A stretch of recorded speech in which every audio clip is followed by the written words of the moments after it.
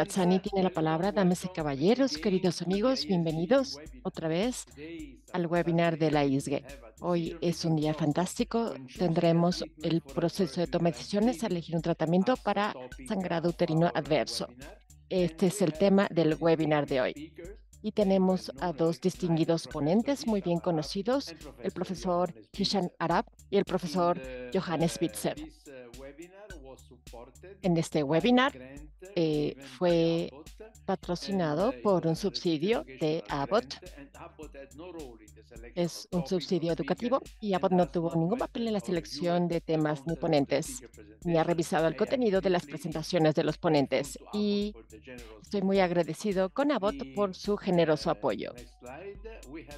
En la siguiente diapositiva tenemos la agenda. El primer ponente será el profesor Hisham Arab, va a, hablar de las necesidades y solicitudes de la paciente.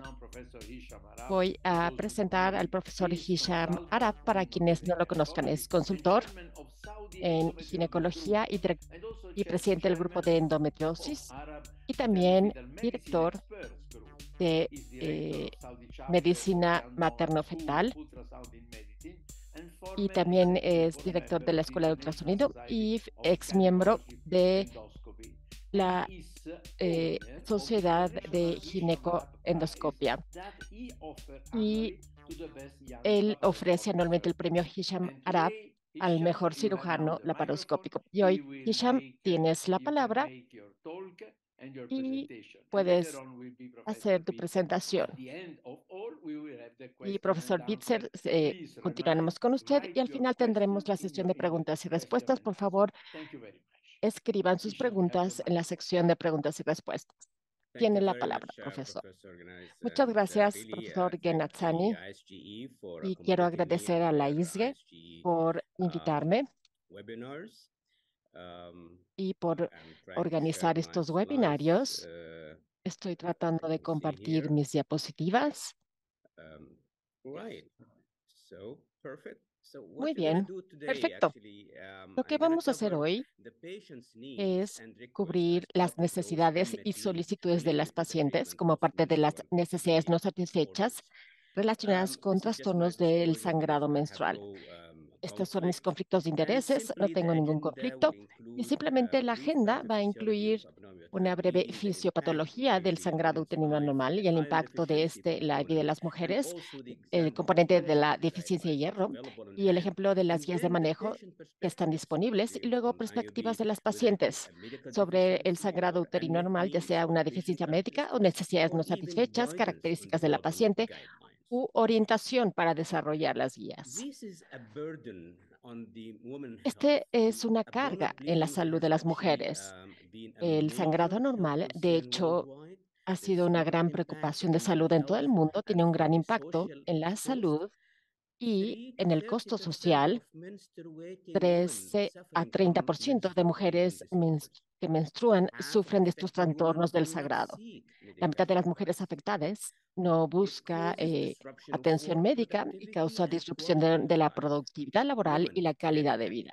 Las mujeres pueden tener experiencias extremadamente diferentes con base en sus percepciones individuales, síntomas y sustentos.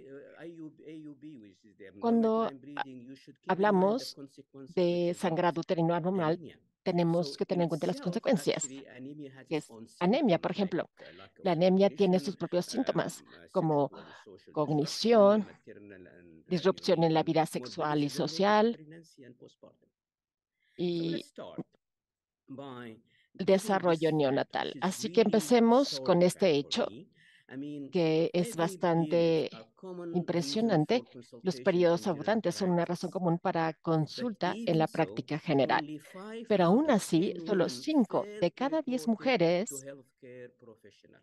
no lo reportan a un eh, profesional de la salud. Cuando les preguntamos por qué, el 50% dice que creen que estos periodos abundantes son solo parte de ser mujeres. Otro 50% cree que no podrán encontrar una solución. Ellas no saben que los periodos abundantes son un padecimiento médico y un cuarto no sabía cómo un médico general podría ayudar. en este tercer milenio, aún tenemos 5% de las mujeres que les avergüenza hablar con un médico acerca de sus periodos. Inclusive aquellas que acuden a un médico cuando les preguntamos cuánto tiempo ha estado sufriendo, 21% durante un año, 12% durante dos años y 9% cinco años reportar esto a un médico. Este es un problema mundial. Pueden ver aquí las cifras de todo el mundo. Inclusive en un país puede haber dos diferentes estudios que nos dan tasas diferentes de prevalencia, pero siempre entre 18 y 60% en algunas áreas. Ahora veamos la fisiopatología. ¿Qué le pasa a la mujer? Siempre empezamos el ciclo en el día 1, el primer día del periodo, aunque fisiológicamente el periodo, de hecho, viene al final de una serie de cambios hormonales y células epiteliales.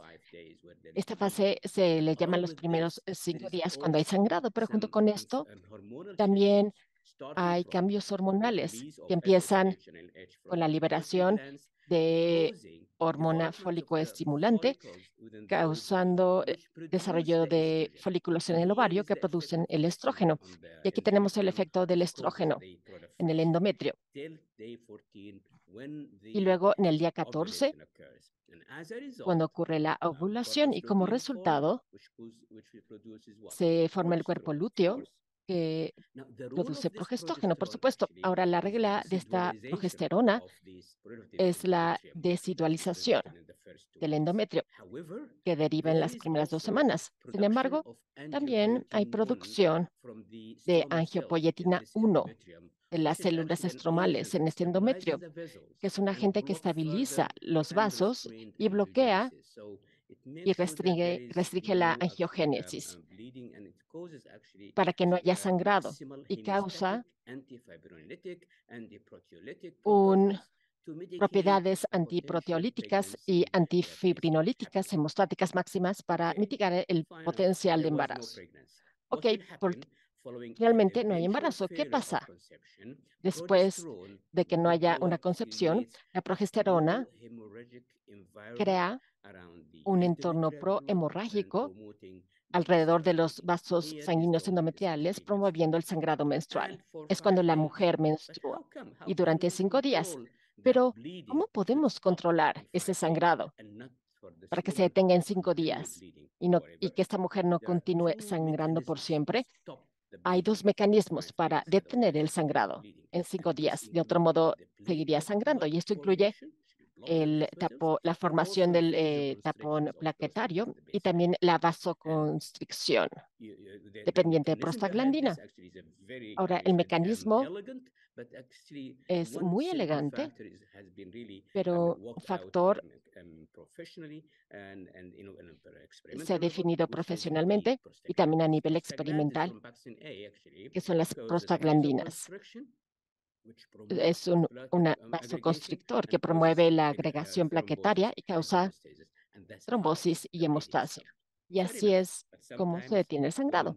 Muy bien, pero a veces las mujeres tendrán lo que llamamos el sangrado uterino normal, que es prolongado, es abundante, que llega a su propio tiempo y con diferentes fases del sangrado uterino normal. Y también ocurre en en dos eh, etapas de la etapa reproductiva. En 20% son adolescentes, 50% son de 40 a 50 años de edad. Y por fortuna, para llegar a un diagnóstico de sangrado uterino normal es por exclusión únicamente. Sin embargo, hemos visto recientemente la clasificación de la FIBO. Es una muy buena manera de nombrar el problema e identificar la causa detrás de él, el PALM y el COIN. Puede ser coagulopatía ovulatoria, endometrial, iatrogénico o desconocido. El PALM relacionado con anormalidades estructurales o patologías como pólipos, adenomiosis, leiomiomia y tumores malignos. Yo voy a hablar hoy de la disfunción ovulatoria o endometrial. Parece que este sangrado tiene un gran impacto en las actividades diarias de una mujer. En este diagrama hemos realizado un estudio de estudiantes universitarias, más de 700, y el resultado aquí es cómo el sangrado normal afecta sus actividades. El color morado es sangrado ligero y el color oscuro es para el sangrado abundante.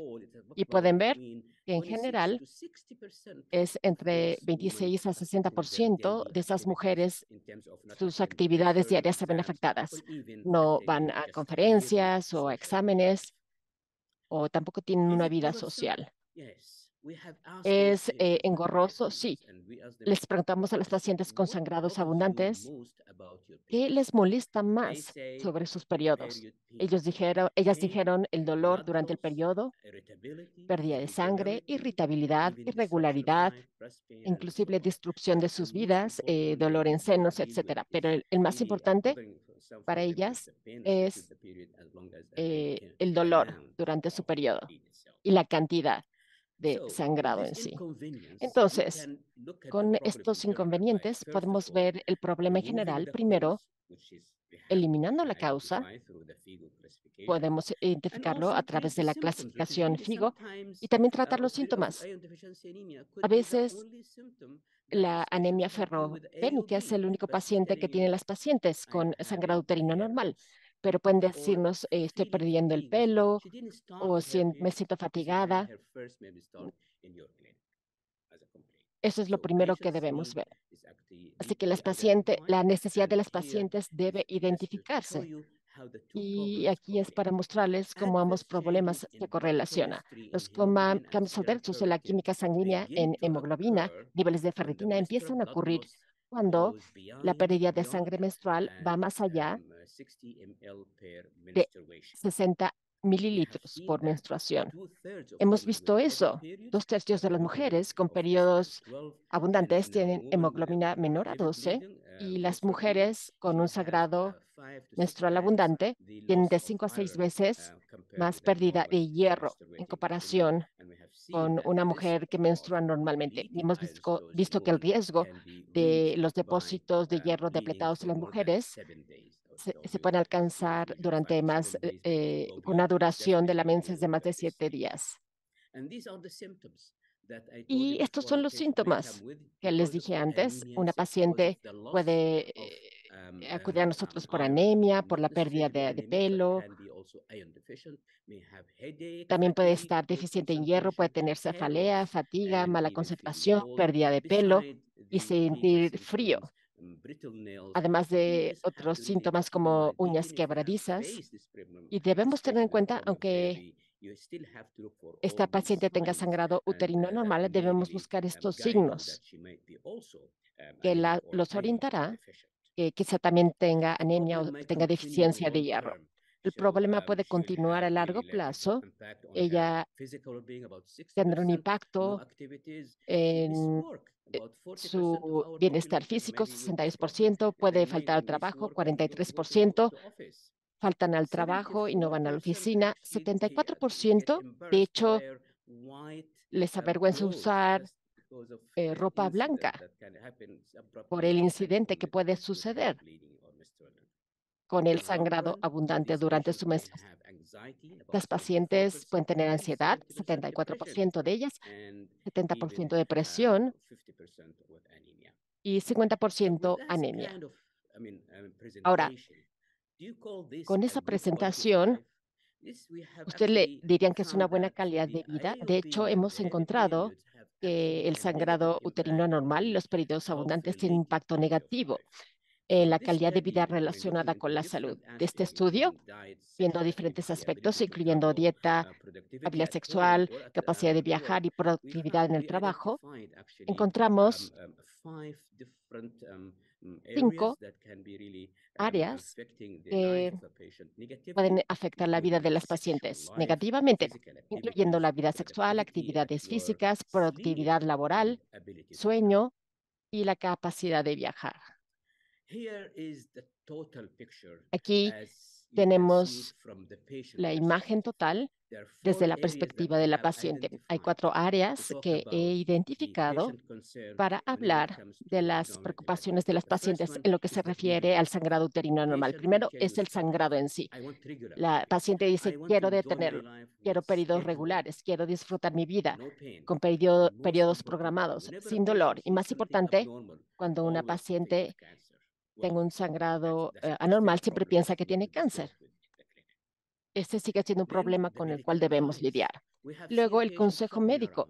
Hemos visto a pacientes que van de un lado a otro. ¿Por qué? Porque no escuchan la misma explicación de dos médicos. Cada doctor dice algo diferente o los doctores que le piden que se haga la misma exploración una y otra vez. Porque una resonancia, vete a hacer una resonancia. Pero más importante, lo que quieren escuchar del doctor es que las tranquilice. Bueno, puede tener un gran problema, pero la manera en que lo abordamos, tranquilizarlas, es realmente lo que quieren escuchar las pacientes. Ahora bien, los problemas asociados. Muy bien.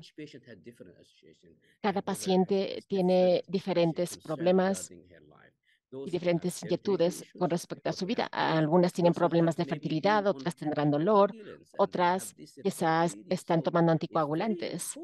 Así que es muy importante que hablen con sus pacientes y de sus preocupaciones de acuerdo con sus problemas relacionados con su padecimiento. Y finalmente, no olviden los síntomas de anemia o eh, la deficiencia de hierro por ese sangrado uterino anormal. Y aquí tenemos la literatura médica que está llena de guías, protocolos, consejos, por todo el mundo. Tenemos los chinos, los estadounidenses, los españoles, africanos, todos intentan ayudar. Por ejemplo, puse aquí algunos ejemplos. Mm, el manejo del sangrado uterino normal, publicado en 2011, diciendo a los médicos generales cómo manejar o abordar a una paciente con sangrado uterino normal, con diferentes sugerencias en términos de abordajes médicos o quirúrgicos, o el las recomendaciones del colegio estadounidense. Estas son todas las recomendaciones establecidas claramente para que sigan los ginecólogos. Y no solo eso, también tenemos evidencia para convencer a los médicos. Estas eh, recomendaciones de evidencia nivel 1, nivel B, etcétera. Esta es evidencia que lo respalda. No solo eso, pero bien las guías, muy buenas guías. Tienen muy buenos algoritmos para decirle al médico específicamente si la paciente tiene un pólipo 2 o un fibroide 2, etcétera. Muy bien ilustrado. Y como dije, esto lo ha experimentado todos los médicos en todo el mundo, ya sea en Sudamérica o en Rusia o en Europa. Pero aquí la pregunta es, ¿Ustedes están contentos? ¿Qué pasa con la paciente? ¿Esto es suficiente para la paciente? Esta es la gran pregunta. Así que a fin de abordar esto, he encontrado esta publicación de Claire Henry y colegas sobre la deficiencia médica en el manejo del sangrado uterino anormal. Encontraron dos estudios que empatan sus criterios, porque durante 20 años las mujeres consistentemente han reportado malas experiencias para tener acceso a atención para el sangrado uterino anormal. Y hay dos estudios que encajan con esa descripción para analizar esta revisión sistemática y, de hecho, han identificado tres barreras para las mujeres que buscan atención. Número uno, eh, conocimiento sobre salud, entender los periodos normales, el papel del Papa Nicolau cervical y la falta de acceso a información apropiada. Número dos, tabú o normalización, el miedo y la vergüenza de los síntomas. También priorizar otras cosas sobre este problema. También ha sido gran problema. Los eh, proveedores de salud, falta de médicos, médicas generales eh, confiables y accesibles y malas experiencias con médicos generales. Así que cuando les digo que estas son deficiencias médicas, cuando escuchan a una paciente que se queja de algo, yo creo que hay eh, literaturas médicas que respaldan sus quejas. Así que estas son quejas de las mujeres respaldadas por literatura médica. Les daré este ejemplo. Si una mujer dice, he estado con mi médico general durante años y él sabe lo que me ha pasado y simplemente confío en él. Bueno, miren lo que dice la literatura. Los médicos generales, hombres, eh, no entran en los detalles menstruales es menos probable que entren a los detalles menstruales. Y una mujer puede decir, esto me decepciona. Siempre y cuando te hagan un Papa Nicolau, estás bien. La literatura dice que un diagnóstico incorrecto o un tratamiento inapropiado también fue descrito a las mujeres y esta es la referencia. Otra mujer podría decir, mi médico general dijo que tengo una infección. El médico de urgencias dijo que fuera con un gastro y el ginecólogo me dijo algo. Luego le dio comprimidos, pero el problema no se detuvo. Lo que dice la literatura es que el uso de jerga médica por especialistas ginecológicos dejan a las mujeres sintiéndose perdidas y con miedo. Y hay dos referencias que apoyan esto. Así que quiero mostrarles las inquietudes de las pacientes y cómo está respaldado por literatura. Sí, hay una falta de comprensión de la paciente. Aquí quiero hablar de las necesidades eh, no satisfechas en las eh, guías del sangrado uterino anormal laboratorio. Recomendaciones de tratamiento para poblaciones específicas de pacientes eso debe verificarse. La diferenciación entre las diferencias eh, entre clases en los perfiles de seguridad de fármacos. Tenemos muchos medicamentos, pero deben priorizar uno sobre el otro y saber la diferencia, incluir los requisitos y necesidades de la paciente. Recomendaciones para un abordaje de línea de tratamiento secuencial. Será bueno que usaran ese algoritmo, pero también las posibilidades de que a la paciente le guste o no, esté disponible o no. Así que todo eso debe incluirse en las guías. Distinción del manejo entre diferentes patrones de sangrado, y puede ser un problema agudo o crónico. Y damos seguimiento. Las recomendaciones deben ser claras hacia cuál dirección irá su paciente. Y la necesidad no satisfecha es de una guía clínica para el tratamiento en escenarios comunes a todos los países, que por desgracia todos viajamos, el mundo es pequeño y debemos tener este tipo de cobertura en las guías. Y luego hay ciertas características de las pacientes que deben abordarse al redactar las guías, empezando de quizá están buscando anticoncepción, aquellas que buscan embarazarse, debe ser un abordaje diferente, aquellas que son adolescentes o eh, son menopáusicas. La guía debe diferenciarse las pacientes que tienen sobrepeso o que fuman o que tienen migraña. Cada una de ellas tiene sus propios requisitos y estas guías deben abordar estas características de las pacientes que realmente no se ven claramente en las guías actuales. Por último, estas son las características clave de cualquier nuevo tratamiento potencial del eh, sangrado uterino normal Número uno, un algoritmo simplificado. Es muy bueno tener un algoritmo, pero que debe ser lo más sencillo posible. Hay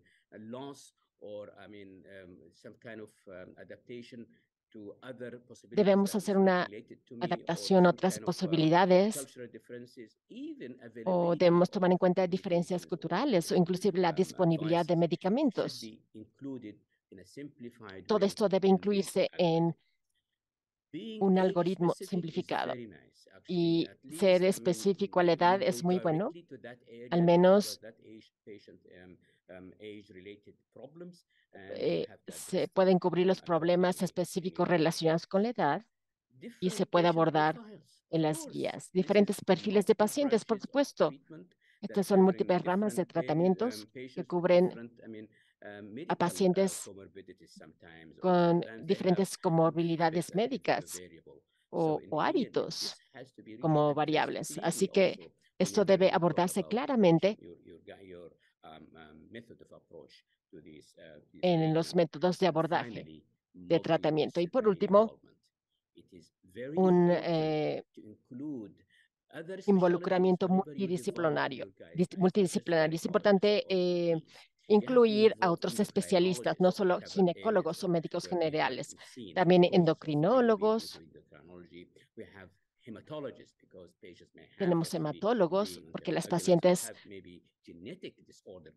pueden también tener trastornos genéticos, profesionales de imagenología para investigar y, también el tratamiento. Así, y con estos cuatro puntos son um, um, clave um, para el trastorno, uh, el sangrado uterino normal, y así podemos cerrar la brecha y asegurarnos de que las siguientes guías sean más adecuadas para ayudar a estas pacientes con sangrado uterino anormal. Y estos son mis mensajes principales. En todo el mundo, muchas mujeres no reportan el sangrado uterino anormal. Es importante promover un entorno de discusión abierta sobre la menstruación. Los médicos de atención primaria deben preguntar a las mujeres sobre su último ciclo menstrual, periodicidad, deseo de fertilidad, anticoncepción y salud sexual. Si se puede identificar el sangrado uterino anormal a nivel de la atención primaria, entonces el historial, exploración y pruebas posteriores pueden realizarse y luego consultas adecuadas pueden concertarse. Las pacientes con sangrado uterino normal deben ser educadas en cambios en su estilo de vida pertinentes y opciones de tratamiento con consideración de las necesidades específicas de la paciente y diferencias culturales. El tratamiento se basa en la biología, el deseo de fertilidad y también comorbilidades médicas. Muchísimas gracias. Gracias, profesor. Gracias, Lusham, por esta presentación. Y ahora pasaremos con el profesor Johannes Spitzer. Johannes es expresidente y profesor del Departamento de Obstetricia y Ginecología en, el Hospital Universitario de la Universidad de Basilea. Y también es exdirector de la División de ginecología psicosomática en la Universidad de Basilea, una de las cuantas divisiones en, ese, en el mundo.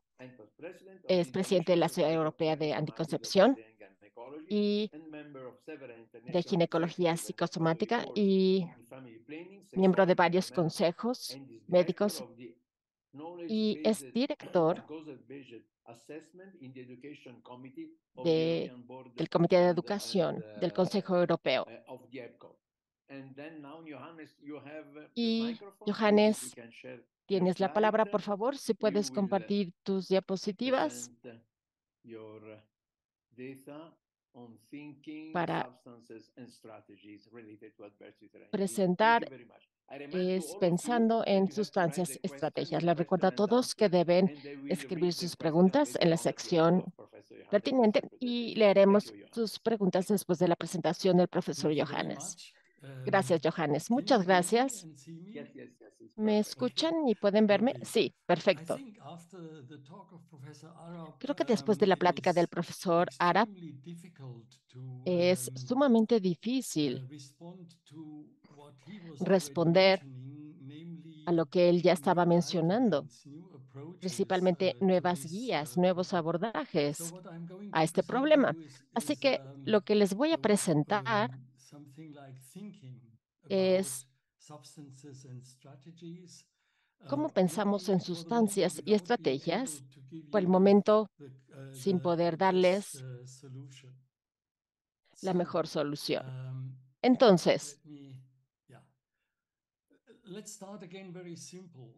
Vamos a comenzar con algo muy sencillo, que es el sangrado uterino anormal en la clínica práctica. En la práctica clínica. es demasiado frecuente, es irregular, no predecible, es muy raro o ausente o es demasiado abundante. Esta es una experiencia subjetiva y luego la pregunta es, ¿qué dice la ciencia? ¿Qué es normal?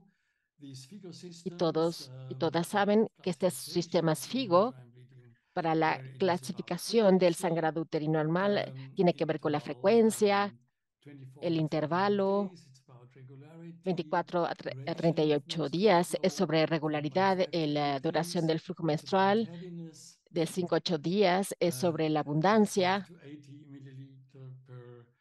580 mililitros por ciclo. Así que estas son las diferentes dimensiones que describen qué está pasando con el patrón menstrual individual. La cuestión es entender que hay diferentes niveles de entender esto y podemos saber más desde el punto de vista científico. Podemos decir también con base en lo que ya ha sido descrito, tenemos factores estructurales,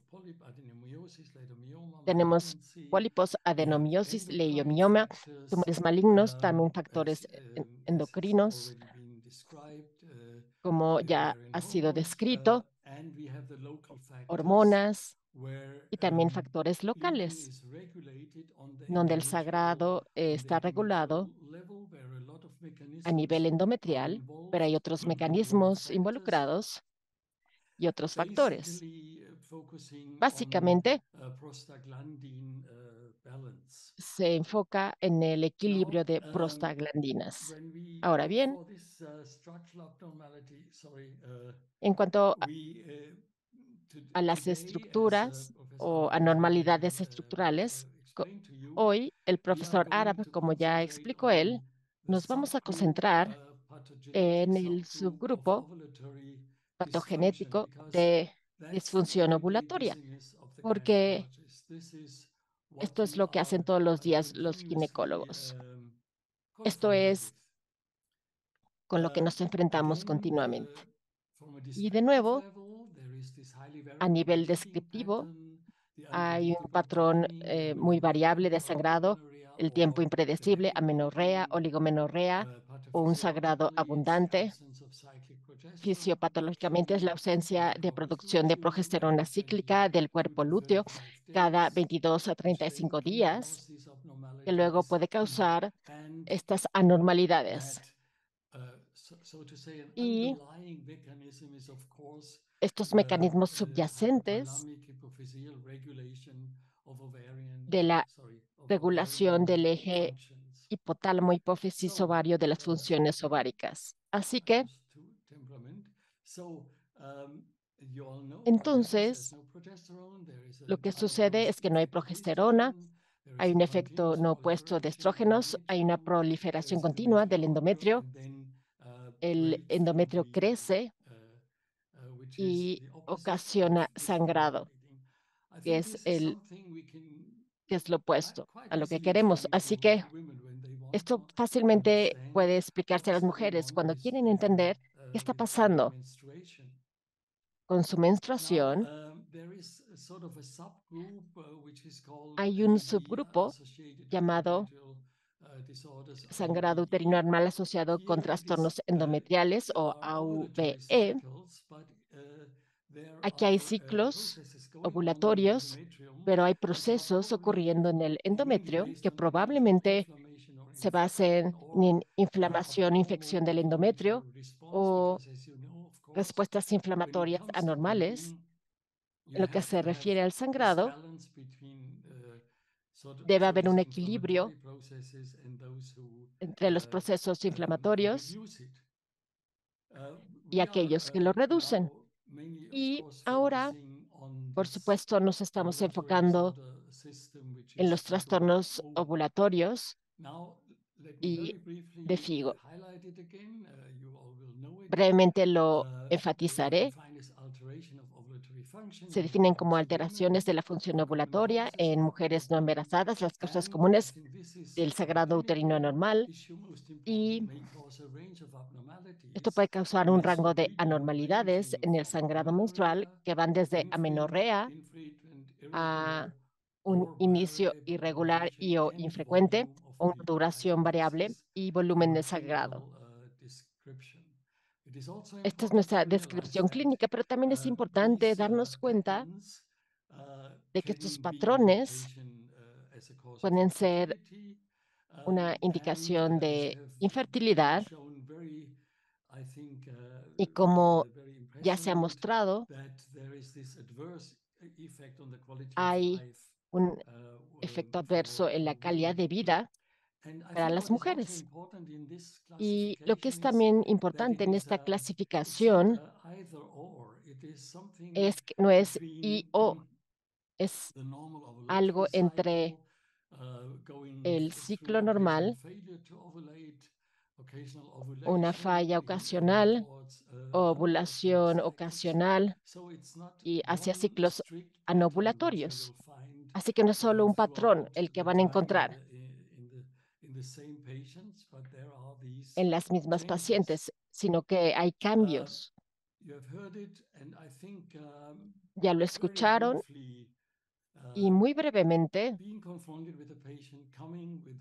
al ver a una paciente con estas quejas que han sido descritas también, una evaluación básica es tratar de determinar si hay anovulación, cuál es el estatus ovulatorio, eh, tamizar para trastornos sistémicos de hemostasia, evaluar el endometrio y la cavidad endometrial y también eh, evaluación del miometrio. Como saben de su práctica temprana, y eso ya se ha mostrado antes. Esto lo mostró el profesor Arab. Por supuesto, hay todo un algoritmo que básicamente trata de excluir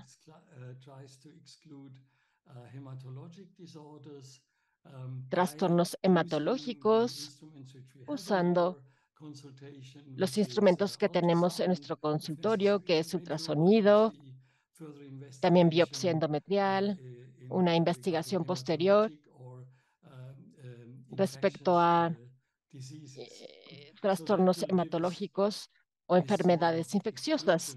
Esto nos dará un, un diagnóstico por exclusión. Y cuando estamos ahí, vemos a una paciente cuyo principal problema son irregularidades menstruales o un sagrado menstrual abundante, o ambos. Creo que debemos saber que durante muchos años nos hemos enfocado mucho en el sangrado menstrual abundante como tal, el cual es importante, pero también vemos pacientes que sufren de irregularidades menstruales que pueden llevar a deficiencia de hierro. Pero quizás el sangrado menstrual abundante no es el síntoma predominante. Con base en la fisiopatología y el razonamiento para las estrategias terapéuticas, tenemos este enfoque de tres aspectos, que es ya sea cirugía, tratamiento hormonal o tratamiento antihormonal y el tratamiento antiinflamatorio. Quiero explicar brevemente la historia de esta larga búsqueda de cuál es el mejor tratamiento, cuál es el más efectivo, cuál tiene una eficacia superior, un mejor perfil de efectos secundarios, es decir, el, abordaje médico clásico. Y aquí tenemos esta lista. Desde el punto de vista médico, tenemos el sangrado uterino anormal severo agudo con progestógenos eh, orales de alta dosis, anticonceptivos eh, orales, ácido tranexámico intravenoso, ablación endometrial. También tenemos opciones terapéuticas de largo plazo como progestógenos orales, eh, medroxiprogesterona de depósito, anticonceptivos orales E más B, ácido tranexámico oral, AINES, y también tenemos un abordaje quirúrgico que es la ablación endometrial, la embolización de la arteria uterina e histerectomía. Así que en otras situaciones tenemos esta enorme caja de herramientas y como dije, ha sido un esfuerzo para encontrar cuál es la mejor opción y la más efectiva. Ahora, básicamente, esta es la pregunta del millón de dólares. ¿Cuál tratamiento es mejor y cómo sabemos cuál es mejor? Los criterios que debemos analizar es la eficacia, los riesgos a la salud, la tolerabilidad, los efectos en la fertilidad y anticoncepción y la calidad de vida obtenida. A nivel de evidencia, se trata de casos de estudio, estudios observacionales, estudios clínicos aleatorizados, metaanálisis y revisión sistemática.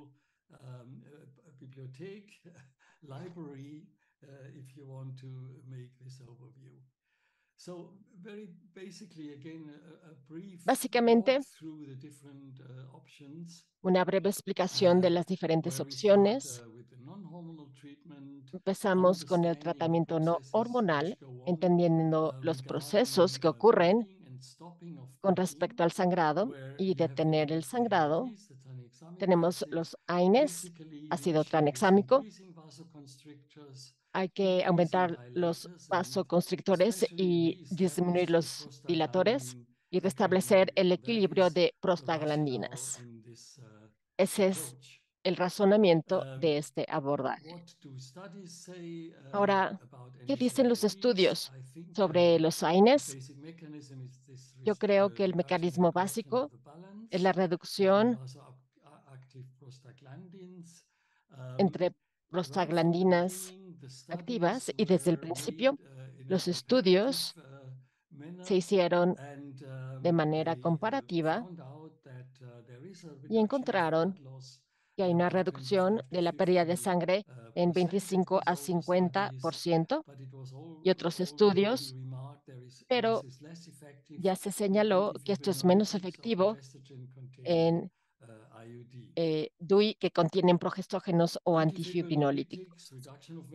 Los antifibrinolíticos en la reducción de sagrado es 40%. Este es un estudio doble ciego aleatorizado en donde teníamos este grupo de control con y placebo, tuvimos una alta eficacia, no hubo efectos eh, secundarios adversos, sin embargo, no hay tantos estudios y un riesgo tromboembólico muy bajo y no se encontraron complicaciones en los estudios. Y la el progestógeno oral cíclica y continua, no hay estudios convincentes sobre el tratamiento progestogénico cíclico hay algunas revisiones eh, donde la aplicación cíclica es menos eficiente en comparación con la aplicación continua.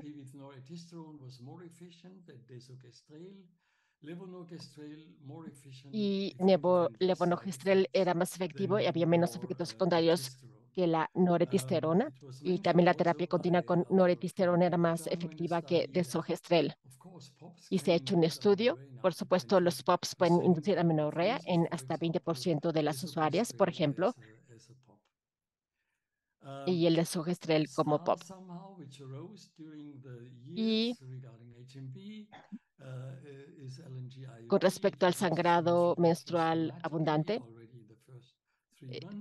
tenemos los progestógenos de larga duración. Hay un famoso estudio de Anderson. También si lo comparan con MPA, es más efectivo, aunque MPA induce amenorrea en 50% de las participantes. Y si esa es la meta deseada, pueden reevaluar la decisión de cuál terapia van a administrar. Otra cuestión interesante, desde hace muchos años, y es una práctica frecuente, es tratar este sangrado uterino anormal con el uso de anticonceptivos orales combinados. Uno de los primeros estudios lo encontró muy efectivo. No pudo demostrarse en otros estudios. En la evaluación Cochrane dijeron que realmente no es muy convincente debido al diseño um, y la metodología y se resumió que los COCs no tienen efectos anti, ninguna ventaja sobre los antifibrinolyticos, danazol o naproxeno. Y también no se usa mucho por los efectos secundarios. Hay un cambio en los anticonceptivos combinados, ya que tenemos las preparaciones que contienen estradiol. En este caso, se muestra que hay una reducción considerable en el sangrado, mucho más con píldoras que contienen estradiol, lo cual fue descrito antes. Así que este es un nuevo instrumento que tenemos disponible. Y el profesor Arab ya explicó todos estos estudios. Hubo un esfuerzo continuo de cómo podemos hacer guías y diferentes países están viendo diferentes situaciones, el sangrado uterino abundante, eh, premenopausia, menorragia.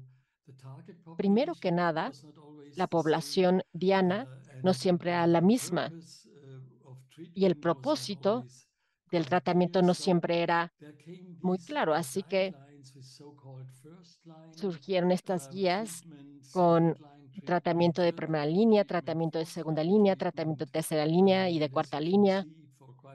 Y como pueden ver, durante un tiempo, el el NG-US se consideró como el tratamiento de primera línea, pero por supuesto solo en esas mujeres que lo aceptaban y que querían anticoncepción. Eh, al principio, ese fue uno de los problemas con los estudios. Ahora, creo, ya les explico un poco la historia y es muy interesante ver lo que dice esta publicación es bastante nueva. y nos lleva a las conclusiones finales.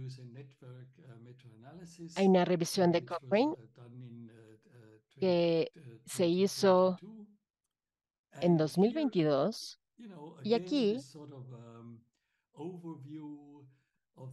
hay una descripción de las diferentes intervenciones en comparación con placebo. Para simplemente decir que son datos con estudios controlados con placebo. Y llegaron a la conclusión que las mujeres que no son candidatas para cirugía, el dispositivo librador de levonorgestrel es el más efectivo y la, el tratamiento de primera línea más efectivo para reducir la pérdida de sangre los antifibroníticos probablemente son mejores que placebo y los progestógenos de ciclo largo pueden ser mejores que el placebo para reducir la pérdida de sangre. Y los datos todavía siguen bajo investigación hasta cierto grado y la recomendación, la primera recomendación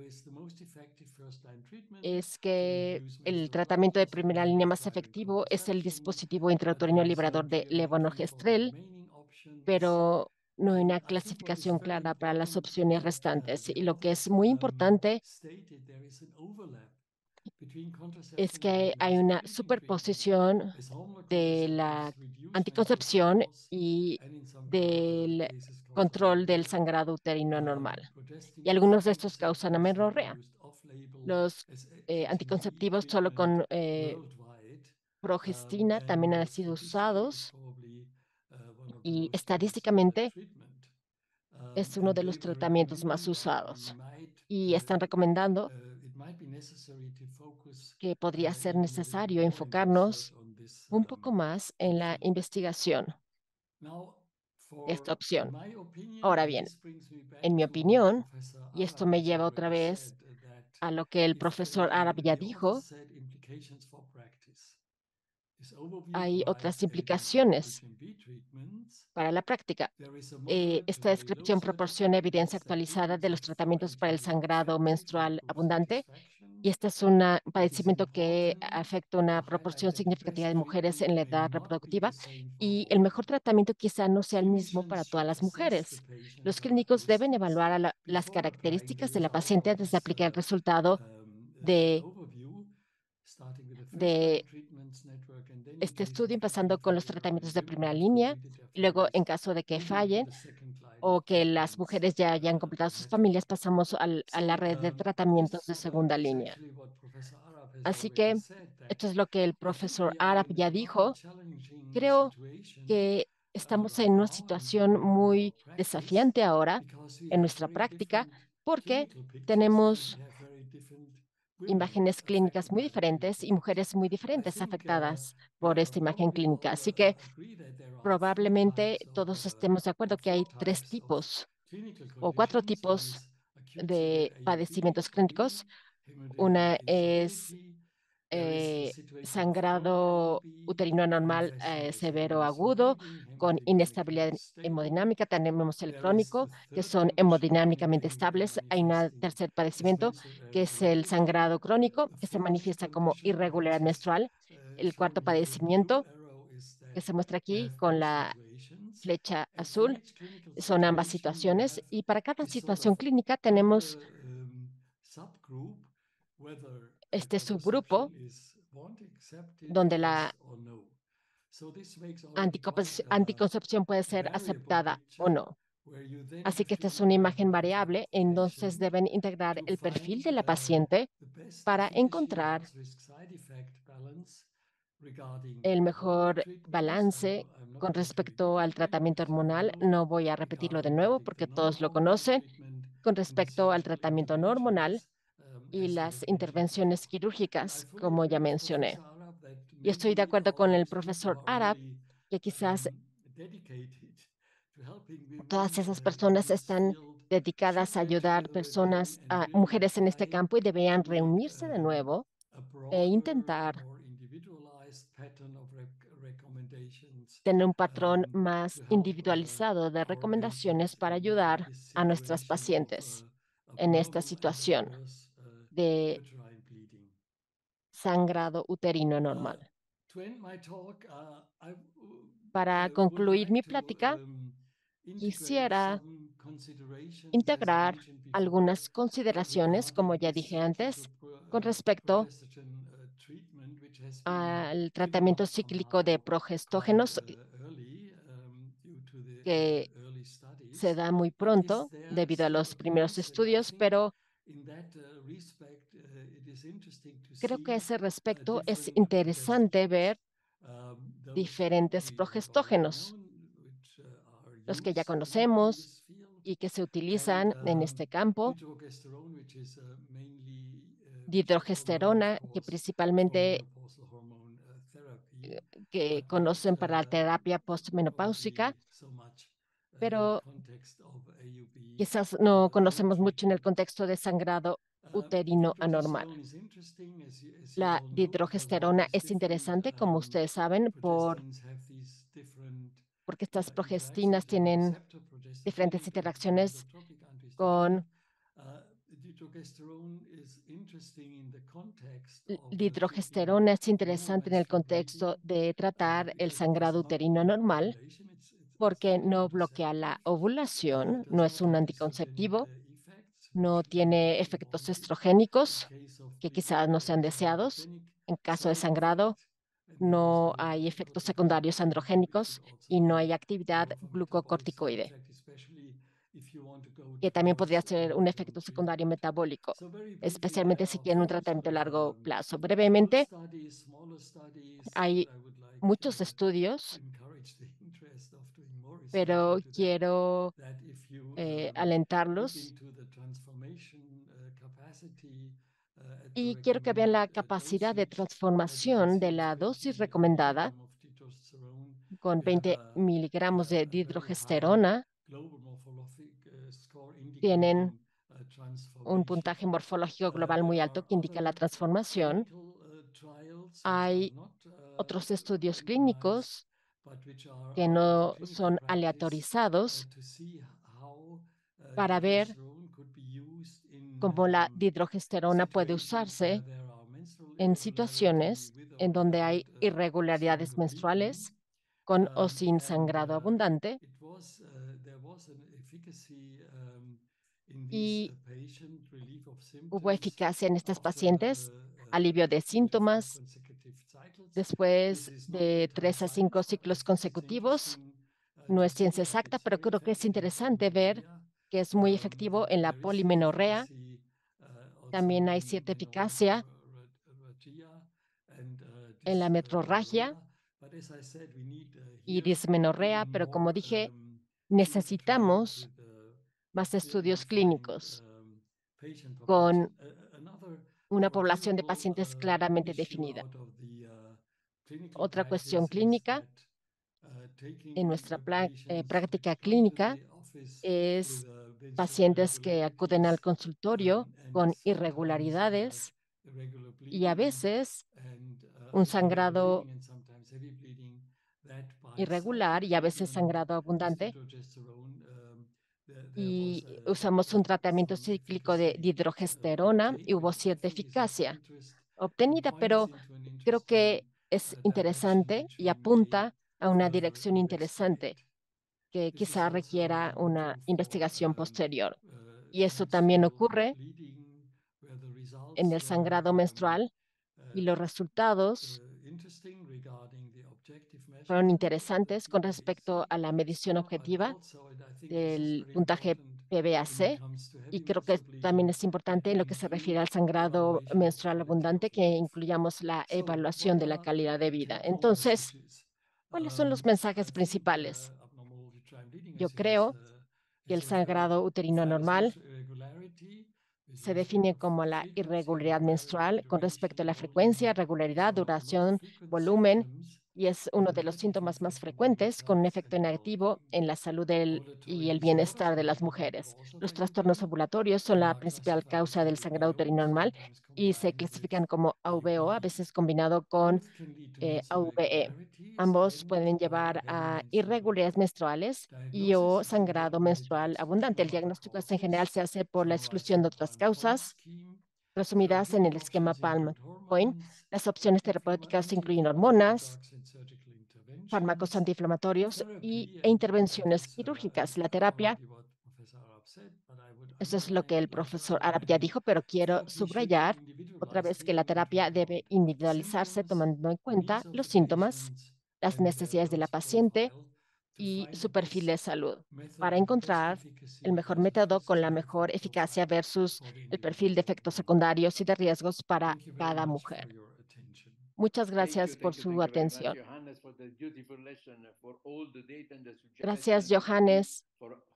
Nos diste muchísima información y muchos usos prácticos. Quiero también invitar a Hisham Arab a que se conecte y vamos a comenzar con las preguntas que ya recibieron. Hay varias preguntas.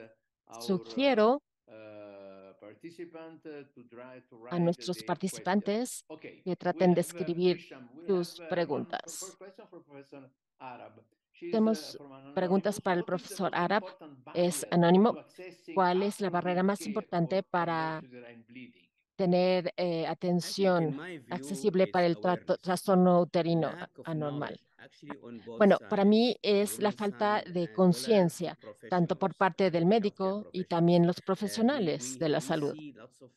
Y vemos muchas deficiencias que deben mejorarse, ya sea que los médicos sepan más de AV y cómo debe abordarse, y también para las mujeres que tengan periodos anormales y las consecuencias pueden causar muchos problemas. Una vez que tengamos esa información diseminada, podemos saber con certeza que estas pacientes irán en el momento correcto al lugar correcto. Muchas gracias. También es una la respuesta a otra pregunta. Una pregunta para Johannes. ¿Qué dosis de ácido tranexámico usa? Siempre lo busco, creo que son 5 miligramos. Debo, debo buscarlo, una disculpa. Sí, yo siempre eh, voy a la segura, siempre lo busco. Y otra más. ¿Cuál sería la primera elección para una paciente de 44 años que quiere un tercer hijo, pero a veces tiene un sangrado irregular y abundante? Creo que esta es la situación clásica del tratamiento progestogénico cíclico, progestógeno cíclico, para ver si podemos regular el ciclo con eso y tal vez contribuir al problema de fertilidad. Así que es, muy claro, no es una indicación, sino para es progestógeno. cíclico.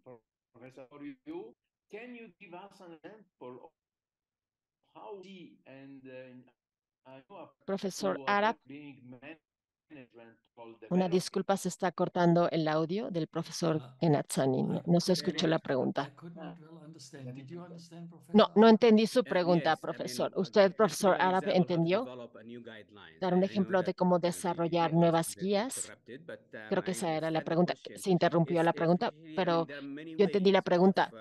Hay muchas maneras de abordar esto, como ya dije. Muchas maneras de de abordarlo. Aquí podemos tener un abordaje hacia la paciente para minimizar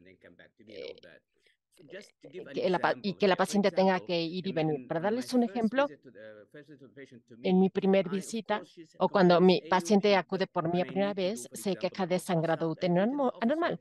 Debo hacer un ultrasonido y lo hago en el consultorio de inmediato. Y quizás necesite eh, pruebas hormonales, por ejemplo, de hormona fólico estimulantes. Y también tengo que hacer pruebas de hemoglobina y de hierro. Esto es importante. ¿Por qué? Porque cuando la paciente regresa en una semana, ya tengo los resultados del ultrasonido, imagenología, de hormonas y también el estatus de ferritina y, si hay deficiencia de hierro o no. Y en su segunda visita empiezo el tratamiento de inmediato, ya que el tratamiento puede iniciarse concomitantemente. Significa que que tiene una ferritina de 5 o 6, que es muy baja en este caso. Así que empiezo a darle eh, tratamiento vía intravenosa y la paciente en dos visitas ya tiene un eh, tratamiento de manejo. Um, Otro ejemplo, por supuesto, para abordar um, esto es um, que las pacientes lean sobre el tema. Es importante que mi equipo esté conmigo, las enfermeras y la gente en el hospital, para poder abordar a estas personas. Así que, como ya dije, el eh, conocimiento es importante. Por eso trabajo de la mano con mi equipo. Por supuesto, al establecer estas guías, como ya dije, debemos tener ese enfoque multidisciplinario y debemos incluir a, varios especialistas. Debo incluir otras especialidades para que nos den su retroalimentación. Me, me gustó su diapositiva, profesor. La diapositiva 27 ilustró muy bien la, si se necesita anticoncepción o no, si es crónico o agudo. Es una buena manera de poder reunir la información y muchas gracias por mencionarlo. Si puedo añadir otra cosa.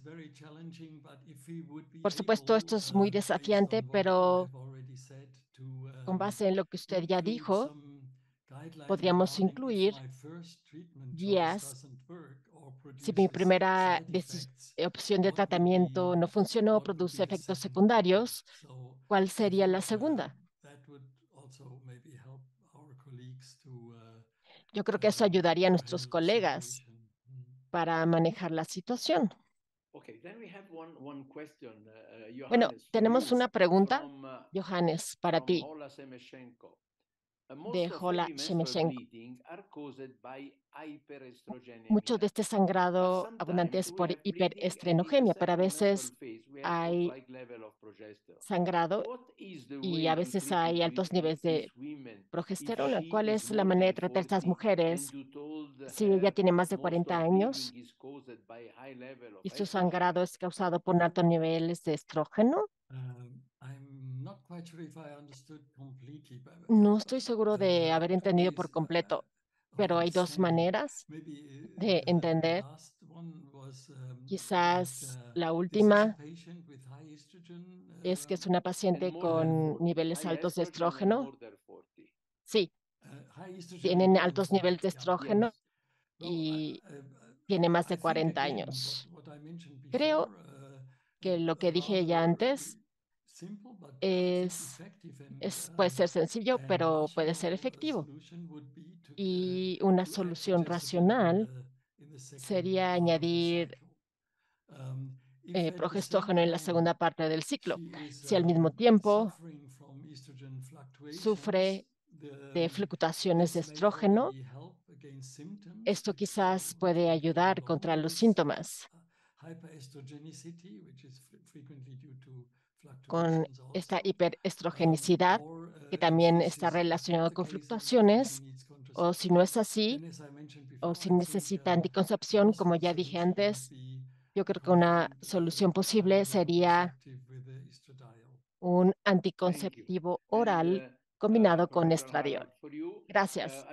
Profesor Arab, para usted, voy a traducir del español al inglés. ¿Cuál es el tratamiento individual en casos de sangrado abundante y agudo. Um, Muy bien.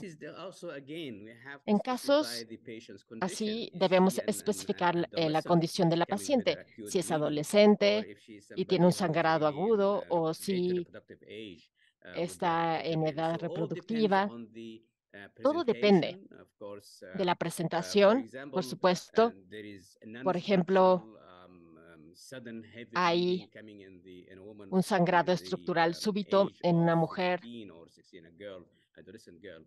de 15 o 16 años, es decir, un adolescente, es muy probable es que sea una disfunción del hipotálamo y eso derivó en una falta de estrógenos, por ejemplo.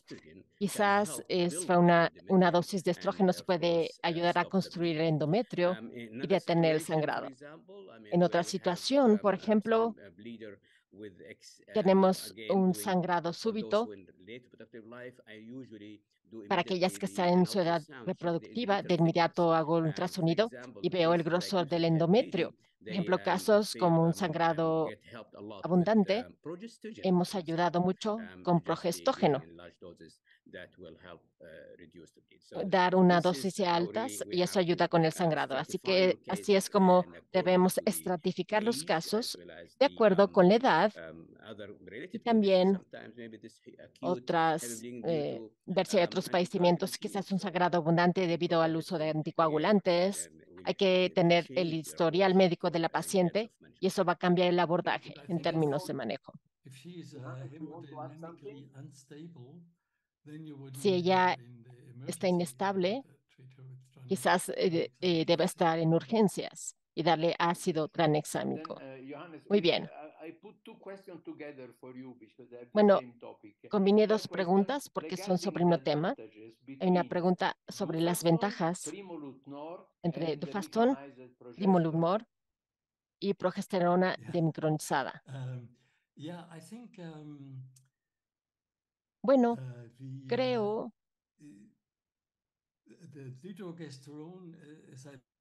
que la dihidrogesterona, como lo dije, en mi presentación, um, tiene una acción de transformación del endometrio bien establecida y la uh, progesterona micronizada uh, no es tan efectiva en la transformación. ¿Y cuál era la tercera opción?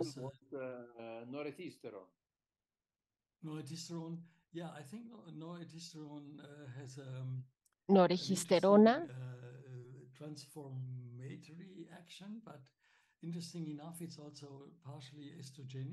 Tiene una buena transformación, pero es parcialmente estrogénica, así que quizás tenga alguna acción androgénica que no deseamos.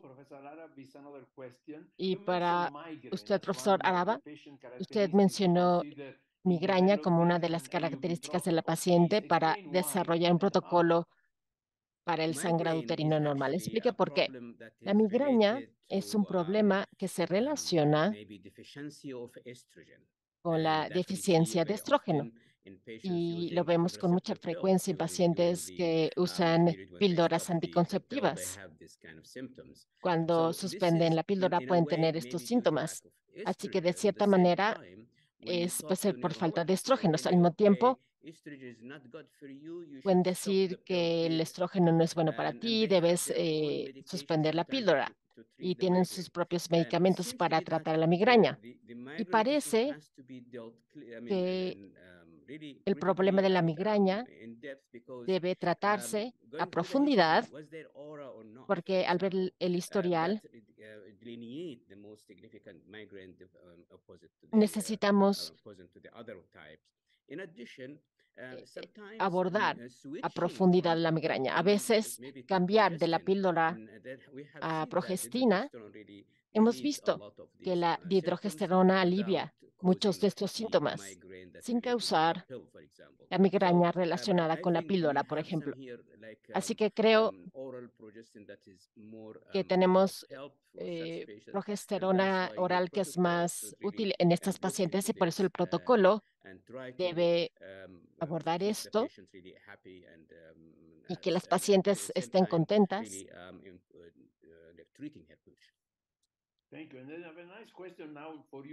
muy bien, tenemos una pregunta para ti, Johannes. En mujeres con fibromiomas, el DUI con levonorgestrel es opción. Sí, así es. Sí, sigue siendo una opción. Y luego, sobre el mismo tema, otra pregunta. Una paciente de 22 años que tenía sangrado irregular y prolongado para anticonceptivos tenía un eh, DUI de um, cobre. ¿Cuál podría ser la opción de tratamiento? Tiene un sangrado abundante y, el, y un DUI de cobre. ¿Qué sugeriría? Um, bueno, primero que nada, el DIU de cobre no es un anticonceptivo óptimo para ella, pero quizás quiera conservarlo. Y luego pueden tratar sintomáticamente con ibuprofeno o con AINES para reducir el dolor y el sangrado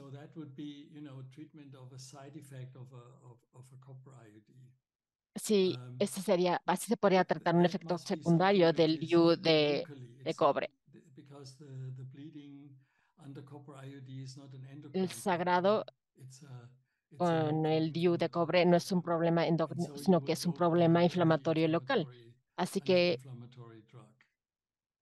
usaríamos un fármaco antiinflamatorio. Uh, Gracias. Otra pregunta de Batya Nathan Gowri para usted, profesor Harab, ¿dónde clasificaríamos el sangrado abundante debido a la tiroides u otra anormalidad? Sí, el origen endocrino del sangrado abundante está bien establecido y hemos visto que las pacientes con hipotiroidismo, de hecho, desarrollan periodos abundantes y la mera corrección de sus problemas tiroideos, ejemplo, dar levotiroxina si se mejora su padecimiento. Inclusive hemos visto asociaciones entre problemas endocrinos y la incidencia de eh, sangrado uterino anormal. Por ejemplo, la diabetes. Ha habido una asociación entre estos incidentes y ciclos largos y periodos abundantes. Así que este tipo de asociación entre problemas endocrinos um, y periodos menstruales abundantes es algo que se ha visto a profundidad y hay una correlación que debe abordarse. He visto inclusive pacientes, por ejemplo, con síndrome de Cushing o problemas de las suprarrenales, tienen diferentes niveles de problemas endocrinos y esto tiene un impacto en su patrón de periodos. Muchas gracias. Tomar Cantero Wolf hizo una pregunta muy interesante con respecto a las causas endocrinas. Johannes, voy a traducir al, del español. ¿Cómo trata a una paciente de 40 años con un antecedente de irregularidad menstrual desde la menarquia, que tiene hirsutismo de etiología idiopática, con prolactina de 26.8 y galactorrea. Creo que no es una etiología idiopática. Tiene eh, galactorrea, entonces quisiera sus comentarios. Sí. Primero que nada, deben ver si tiene un síndrome de ovario poliquístico que puede estar combinado con hiperprolactinemia. Quizá hay un microadenoma y tienen que ver cuál es el origen de los problemas. Y yo creo que trataríamos la hiperprolactinemia para regularizar el ciclo. Esta es la pregunta sobre irregularidad por hiperprolactinemia. Sí, dice que tiene irregularidad menstrual, pero también tiene una prolactina de 27 y también tiene galactorrea.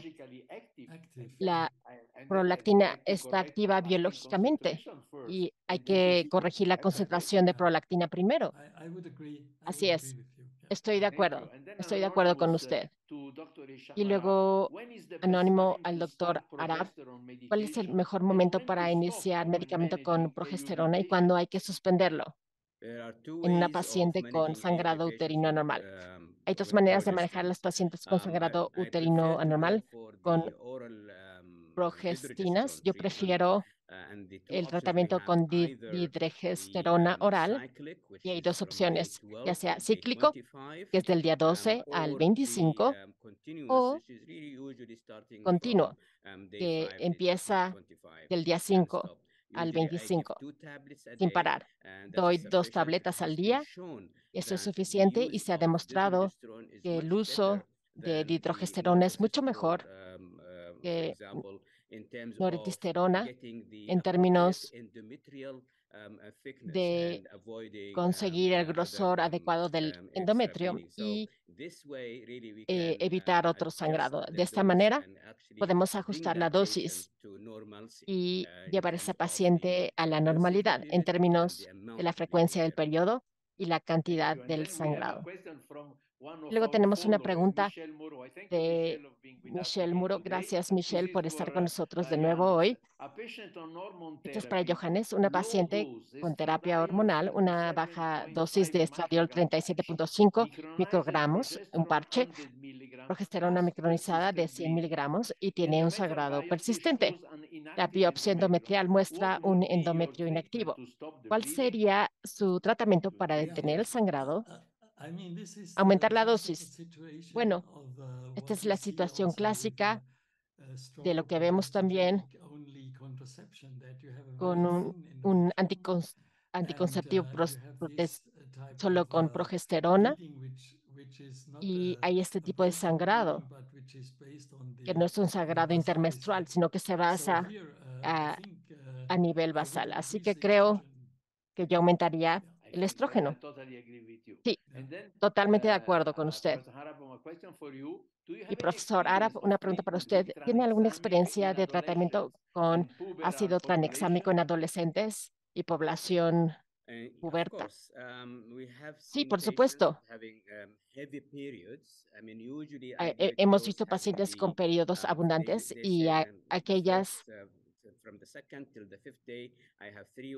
del día 2 a 5 tienen tres o cuatro días de sangrado muy abundante. Les doy ácido tranexámico si son muy jóvenes.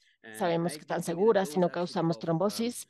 Les doy una dosis de 500 miligramos, dos tabletas tres veces al día durante cinco días, que no pase de cinco días. Y por lo general, les digo a los cuatro días, y se los doy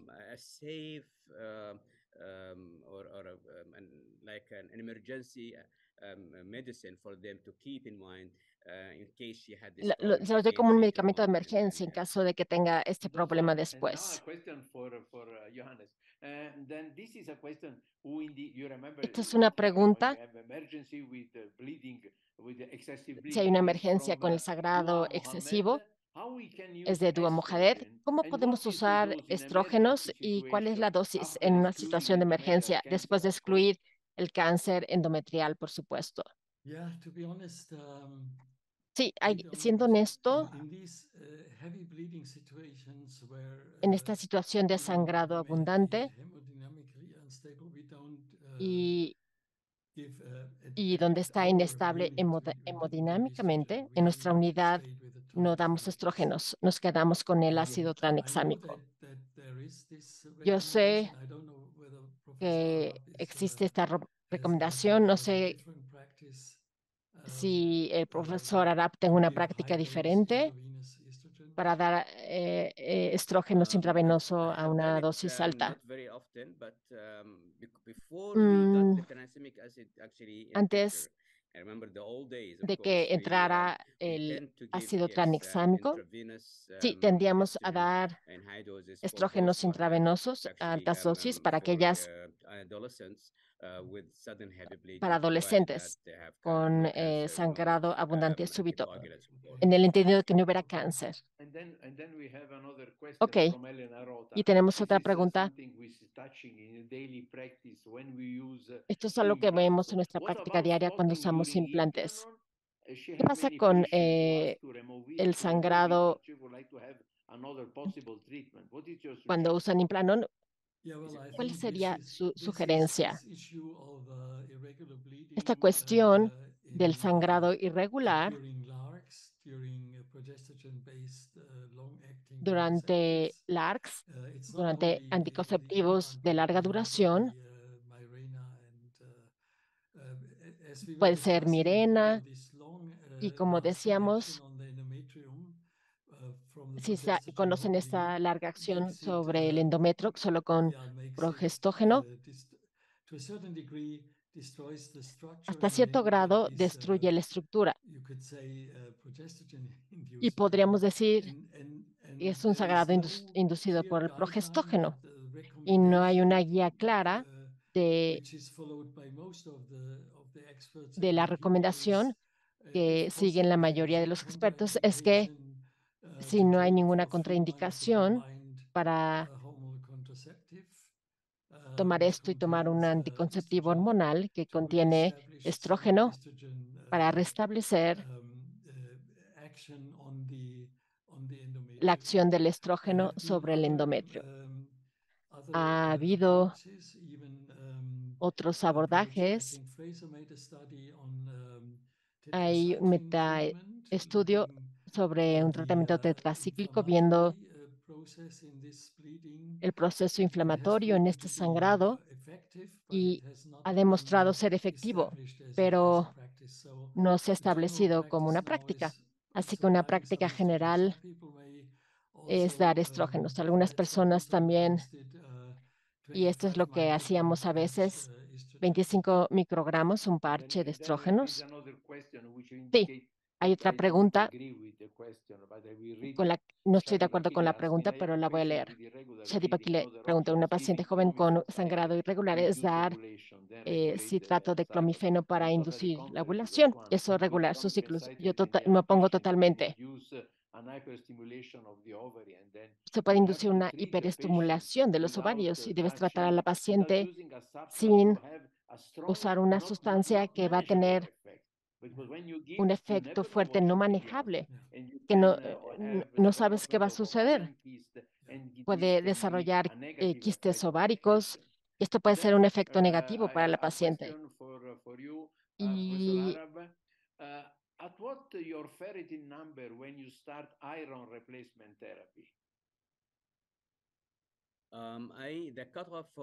¿Y qué pasa con la terapia de reemplazo de hierro? Uh, um, Cualquier eh, nivel uh, menor a 30 es indicación para um, darle hierro intravenoso. Esto es carboximaltosa durante 20 minutos. Yo repetiría el nivel de ferritina un mes después y partiremos de ahí. Estos son pacientes que están presentes en nuestras eh, clínicas. Ustedes eh, hacen pruebas a pacientes con hipermenorrea para la enfermedad de von Willebrand. Sí, esto es algo mm-hmm. que hemos empezado ahora en especial en pacientes jóvenes. Sí, así es. Es raro, pero suele, suele soslayarse, suele pasarse por alto. Sí, hay una buena respuesta con el dispositivo intrauterino. Y luego estamos llegando al final, queridos amigos. Tenemos a Banda Capaya, ovario poliquístico, ¿cómo lo tratan? Progesterona de largo plazo, eso va a afectar la densidad ósea. Prefieren dar anticonceptivos combinados. Um, este es para el doctor Arab. De hecho, si hay eh, síndrome de ovario poliquístico, yo usaría eh, um, anticonceptivos hormonales combinados en uh, definitiva. Para regular los periodos, aboliríamos el hiperandrogenismo que está sufriendo y también um, sus niveles endocrinos anormales. A veces, para pacientes de 13 años,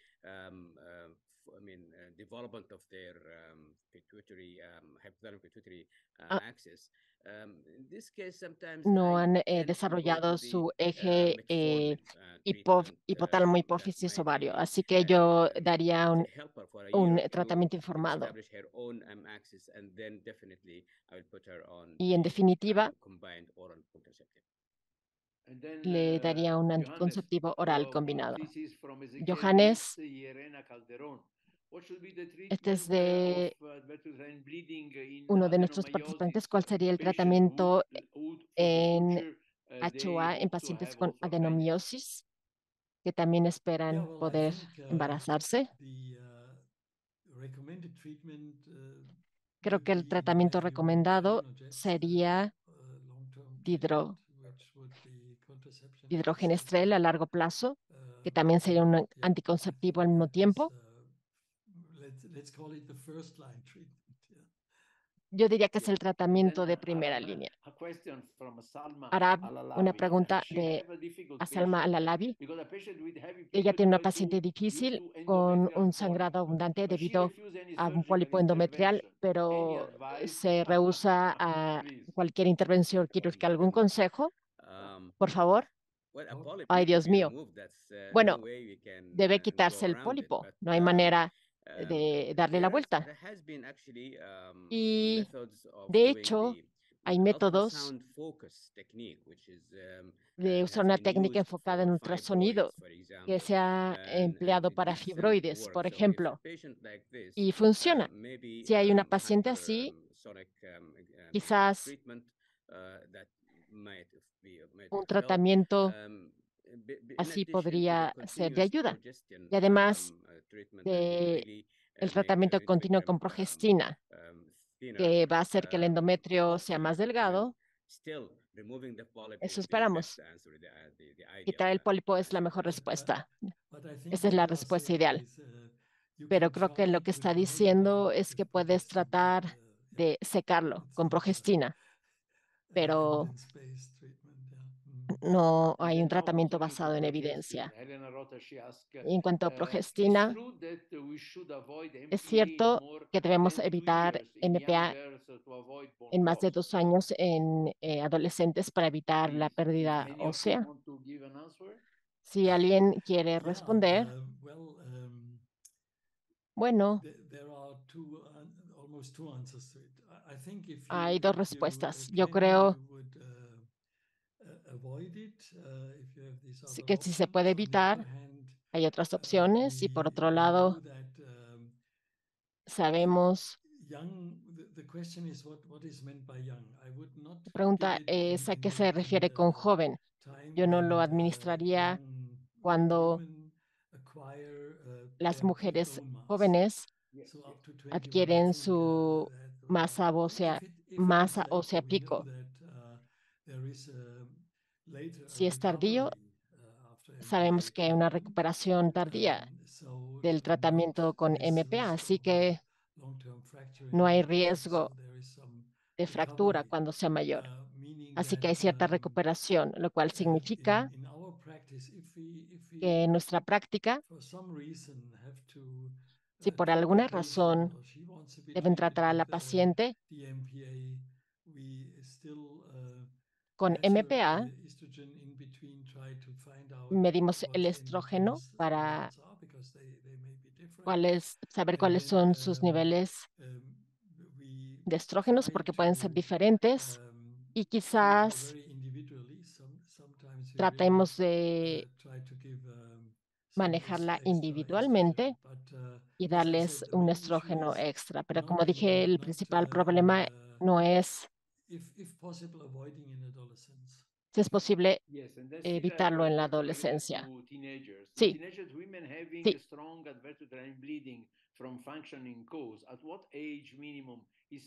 ¿A qué edad se recomienda dar anticonceptivos orales?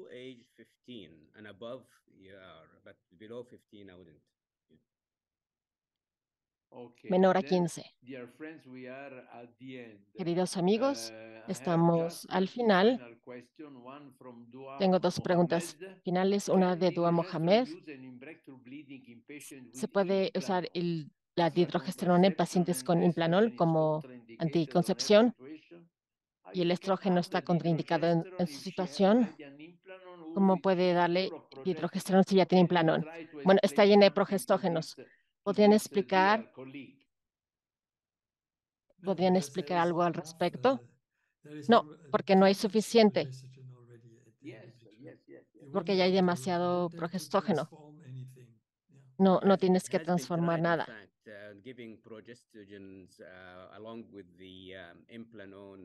Sí, tiene progestógenos junto con implanon y Mirena no muestra mucho efecto como los anticonceptivos orales. Muy bien. Luego, este es un comentario final. Comenzamos primero con el profesor Árabe y luego el profesor Bitzer y ahora del profesor Bitzer el profesor Árabe. ¿Y cómo concluirías? Johannes, por favor. Es una pregunta muy importante, clínicamente hablando, porque puede suceder en cualquier edad, desde la adolescencia temprana ¿Cuál es su sugerencia? ¿Cómo abordar los aspectos psicológicos de la paciente? Bueno, creo que esto es algo que es muy importante, pero por lo general no se aborda. Y el profesor Arabe lo mencionó. El patrón menstrual también tiene algo que ver con el sentimiento de identidad de una mujer sana, una mujer fértil. Y esas alteraciones de ese nivel son indicaciones de algo que va mucho más allá de deficiencia de hierro. Así que yo creo que es importante alentar a nuestras pacientes a que pregunten sobre ello y sus experiencias subjetivas qué significa para ellas y también a nivel emocional. No es solo que es una enfermedad o que hay deficiencia de hierro, sino que puede tener eh, consecuencias emocionales muy negativas. Por eso debemos tratar a estas pacientes de manera más holística. Y doctor Arab no solo es un fantástico ginecólogo, sino también un muy buen ultrasonógrafo. ¿Qué, ¿Qué pasaría con la exploración con ultrasonido de las pacientes? ¿Cuáles son los puntos críticos que quisiera sugerir para empezar de los resultados al tratamiento? Muy, muy buena pregunta. Gracias.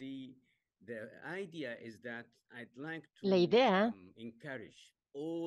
es que quiero alentar a todos los ginecólogos a que se capaciten para hacer ultrasonidos en sus consultorios. Esto es sumamente importante y hacer un ultrasonido vaginal es esencial para diagnosticar a pacientes con sangrado anormal.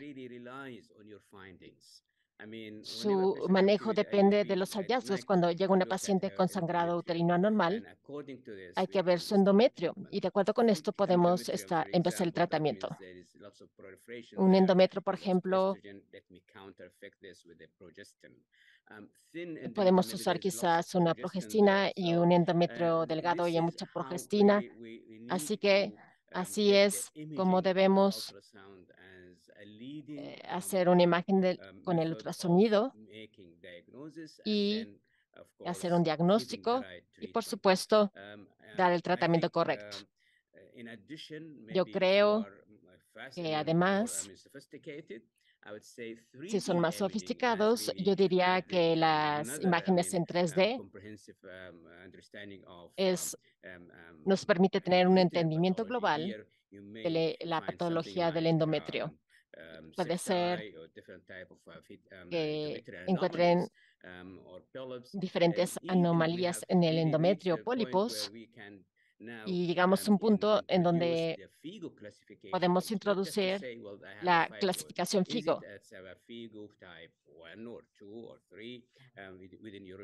Uno, dos o tres.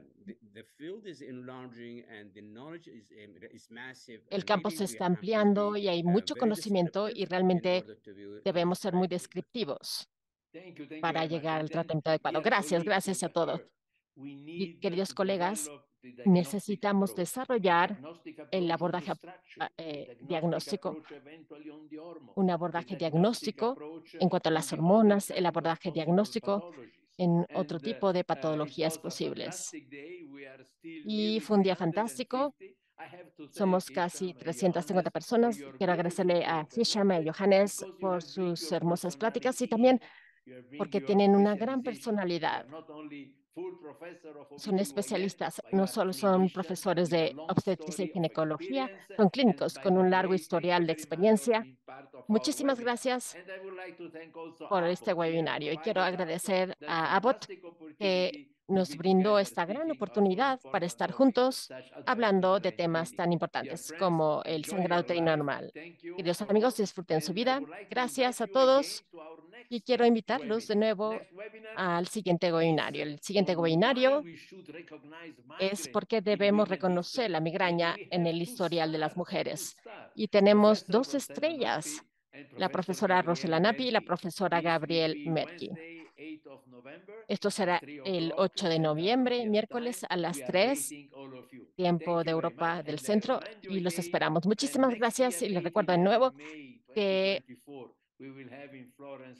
el del 8 al 11 de mayo de 2024 tendremos en Florencia nuestra conferencia ISGE, una gran oportunidad para aprender, discutir, hacer networking y disfrutar el placer de aprender con el placer de intercambiar conocimiento con sus colegas. Los espero en Florencia. Gracias, Johannes. Gracias, Hirsham.